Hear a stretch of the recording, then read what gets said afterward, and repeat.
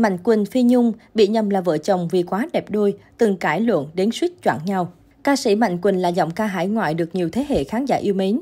Trong suốt hơn 20 năm gắn bó với công việc ca hát, nam ca sĩ gốc Đồng Nai ghi dấu ấn bằng giọng hát tình cảm, sâu lắng, cũng như sở hữu hàng loạt các ca khúc, sản phẩm âm nhạc đình đám. Ngoài hoạt động solo, Mạnh Quỳnh còn gây được tiếng vang khi kết hợp với nữ ca sĩ Phi Nhung.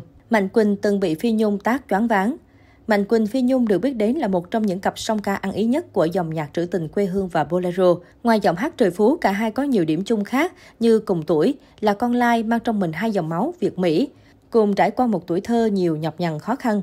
Chia sẻ về lần đầu tiên gặp nhau, Phi Nhung kể, lần đó cô gặp Mạnh Quỳnh ở Canada khi cả hai cùng biểu diễn trong một chương trình ca nhạc. Sau khi hát chung với một ca sĩ khác, Mạnh Quỳnh có màn song ca với Phi Nhung và anh cho cô hát liền tù tì cả một liên khúc. Vốn tính hay quên lại chưa có sự chuẩn bị trước nên có đôi chỗ Phi Nhung bị quên lời. Tinh ý nhận ra điều này, Mạnh Quỳnh nhắc từng chữ một cách rất nhỏ nhẹ. Ấn tượng khi ấy của cô về Mạnh Quỳnh là một người đàn ông nói năng cực kỳ nhẹ nhàng và dễ chịu. Thời gian sau đó, khi có duyên thu âm chung với nhau ở ngoài đời, cả hai bắt đầu có trận tranh luận nảy lửa đầu tiên. Lần đó, một trung tâm âm nhạc muốn anh thu cùng Phi Nhung bài hát Sa Mưa Dông mang âm hưởng dân ca Nam Bộ. Khi đến phòng thu đặt ở nhà Phi Nhung, Mạnh Quỳnh bày tỏ về việc anh hát nhạc trữ tình quen rồi, e rằng hát nhạc dân ca quê hương mà phát âm giọng miền Nam thì sợ không đúng kiểu. Ngay lập tức anh bị Phi Nhung thẳng thừng, la rầy là chảnh.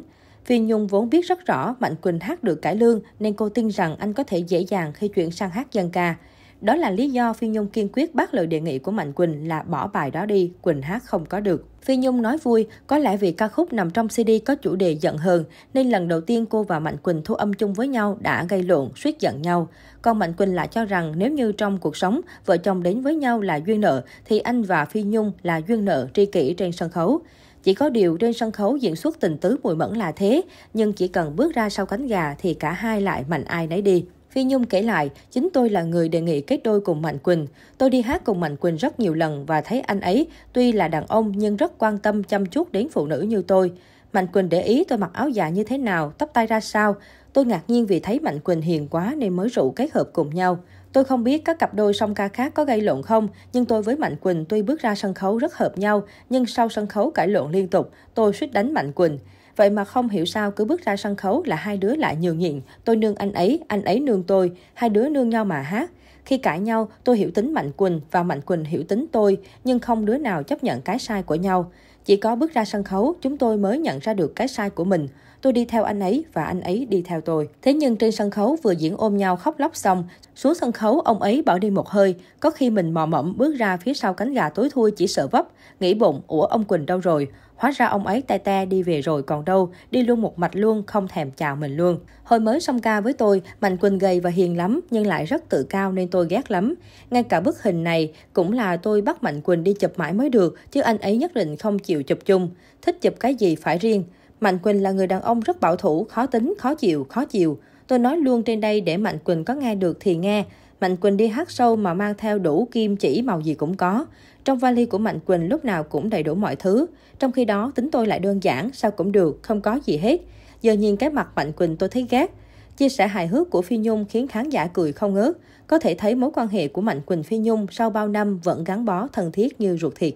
Cũng bởi kết hợp với nhau quá ăn ý cho nên tới giờ, Phi Nhung Mạnh Quỳnh vẫn là một cặp tình nhân trong âm nhạc, khó lòng tìm được ai khác thay thế. Điều đặc biệt là cả hai không chỉ tìm thấy sự hòa quyện trong giọng hát mà còn cả diễn xuất. Khi hát nhạc phẩm buồn, khán giả sẽ thấy Mạnh Quỳnh thể hiện rất ngọt, cảm xúc rưng rưng, còn Phi Nhung thì dàn dụa nước mắt. Thậm chí theo lời Mạnh Quỳnh, có cảnh về diễn quá nhập vai tâm trạng đau khổ của người con gái khi yêu mà Phi Nhung tác một cú tác trời giáng khiến anh thật sự choáng váng. Cặp đôi này song ca ăn ý thành công đến mức Mạnh Quỳnh Phi Nhung thường xuyên bị công chúng lầm tưởng là tình nhân vợ chồng ngoài đời vì liên tục đi diễn chung và không ngại tình tứ cùng nhau trên sân khấu. Do là người khá kiến tiếng trong chuyện cá nhân, vì thế không phải ai cũng biết Mạnh Quỳnh đã có vợ và hai con ở Mỹ. Bà xã của Mạnh Quỳnh có tên là Cẩm Diệu, theo gia đình sang Mỹ từ nhỏ, đang hoạt động trong lĩnh vực phân tích tài chính và rất ít khi xuất hiện cùng chồng trước đám đông. Được biết, Mạnh Quỳnh bén duyên với Cẩm Diệu nhờ sự mai mối của chính ca sĩ Phi Nhung.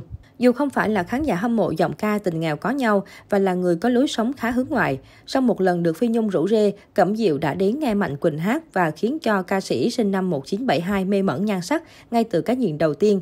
Sau thời gian dài tìm hiểu và yêu thương nhau, năm 2004, Mạnh Quỳnh và Cẩm Diệu nên duyên vợ chồng và chung sống rất êm ấm. tuy là người nổi tiếng và hoạt động trong lĩnh vực khác bà xã, song Mạnh Quỳnh không ngại san sẻ công việc nhà với Cẩm Diệu. Thậm chí anh còn là người nấu ăn giỏi, chăm sóc con rất khéo. Là người có tính cách hiền lành ít nói, Cẩm Diệu cũng không bao giờ phàn nàn chuyện Mạnh Quỳnh đi diễn xa hay vướng vào tin đồn có mối quan hệ tình cảm với các đồng nghiệp nữ. Trải qua hơn 10 năm gắn bó, cuộc sống hôn nhân kiến tiến nhưng hạnh phúc của Mạnh Quỳnh và Cẩm Diệu là niềm ao ước của nhiều nghệ sĩ ở thị trường hải ngoại. Hiện tại, Mạnh Quỳnh và bà xã có hai cậu con trai tên Nhân Tâm.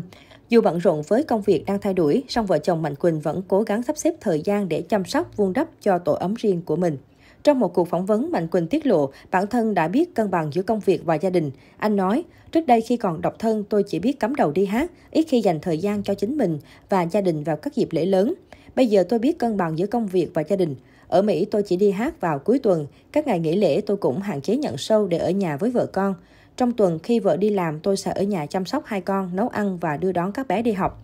Ngoài ra, nam ca sĩ còn mở một phòng thu tại nhà để có thể tự làm cho mình vào những lúc rảnh rỗi.